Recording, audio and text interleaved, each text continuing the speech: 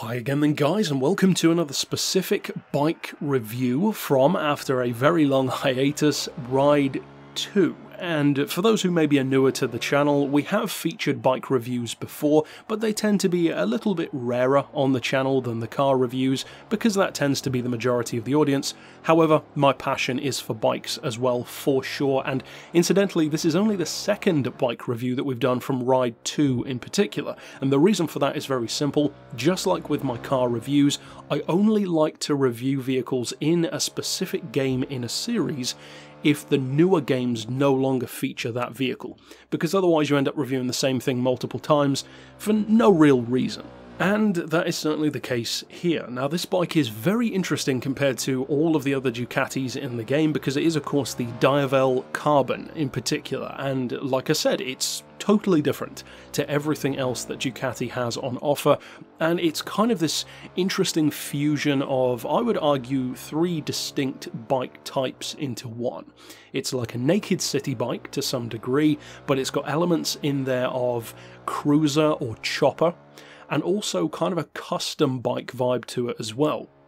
And overall, even though this is significantly newer, the vibe and especially the look with the very distinctive dark colours, the exposed carbon, and the very distinctive exhaust system on this bike reminds me quite a lot actually of the Confederate F131 Hellcat, which is also an extremely rare, I would say gorgeous looking bike, which is even more extreme than this one is, but also far less accessible and far more expensive. Now, this bike is from 2014 at this point in the game, and in the game, it's about the same as what it would cost you in real life. It's around a $20,000 bike, or at least it was when it was new, and in the game, it's just under 24,000. So it's fairly close to real life there. As far as the engine goes, it does share its power plant with a number of other high-end Ducatis. It's an 1198cc system, and it puts out 163.6 so let's just say 164 horsepower, which is very good for a bike that looks like this aka more of a cruiser vibe than a sport bike, and it puts out a whole lot of torque, about 95 pound feet, which if I recall correctly is something like 130 newton meters, I believe. Now the weight difference between the carbon and the regular Diavel is around 5 kilos or so, so that's pretty healthy.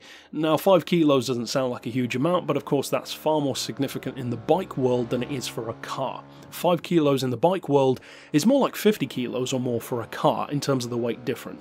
So in other words, kind of like what Porsche would do, going from the GT3 to the GT3 RS. You pay more, you get less. It's a similar kind of principle here. Now the bike is very visually striking, and of course that's the impetus of its design. Really it's designed to be eye-catching, but at the same time, one of the reasons that I really like the way this bike performs and the concept behind it is that it asks the question of what if Ducati made something like a custom cruiser, but with the heart and with the performance, not just in a straight line but through corners too if possible, of a sport bike. And if any company could make that work, it would be Ducati, and I would argue they definitely have. Now, one of my favourite things about this bike in terms of how it performs and how it feels is actually the rear wheel.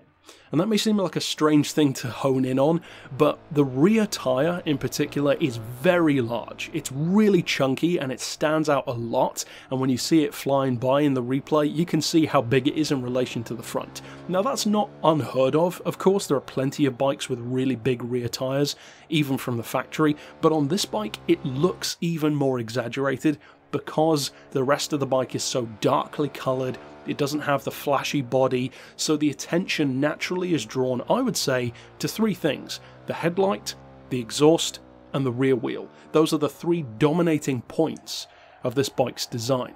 But out of those three things, it's that rear tyre that has the most significance to the way it handles, because most cruisers or even naked bikes aren't necessarily the most manoeuvrable on a track. In city traffic, a city bike is fantastic.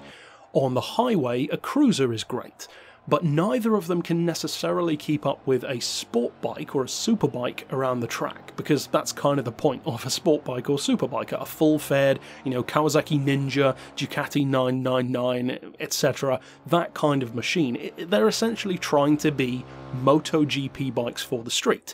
And it, it shows. They're very good, they're very fast, but with this one, it almost feels like a MotoGP kind of style in other words, a superbike, but with a cruiser body fitted onto it.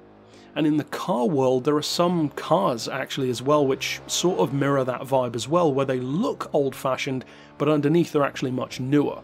Something like a, the Eagle Speedster, for instance. And personally, even though I never took a huge amount of notice of this bike when it first came out, I actually love riding it in the game. It feels absolutely fantastic through corners, and one of my favourite things about it is how smooth it is.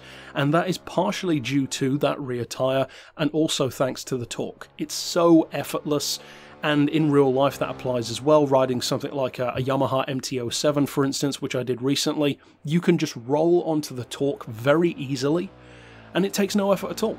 It's not like you have to work the engine, and even though this engine has more than enough power, and it does rev up around 9000, so it can roar if you want it to in that distinctive Ducati way, but it just feels like nothing is going to faze the bike, and that's a nice feeling to have. And although that is a very specific riding style that certainly won't appeal to everyone, you know, some people prefer that frenetic, like I said, ninja style approach where it's screaming, really wringing every horsepower out of it around the track. For those of us who are like me, who for instance prefer a bigger, more comfortable kind of cruiser meets sport bike vibe, this pretty much does that perfectly actually, and it's something so different to every other Ducati in the game, and arguably most, if not all, other Ducatis in their range, and yet at the same time it feels at home there. But that's it for my thoughts on the Diavel Carbon. Of course I'll see you guys next time, and for now, as always, Thanks for watching.